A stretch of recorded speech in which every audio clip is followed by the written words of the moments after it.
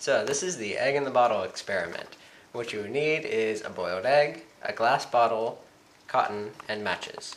What you do is light the cotton on fire and drop it into the bottle. Then you place the egg at the top of the bottle, wait for it, and science!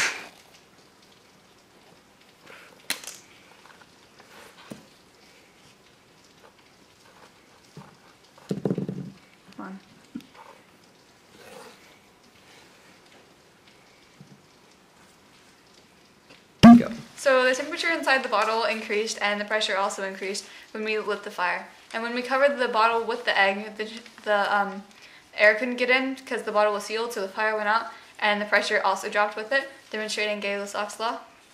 So it's like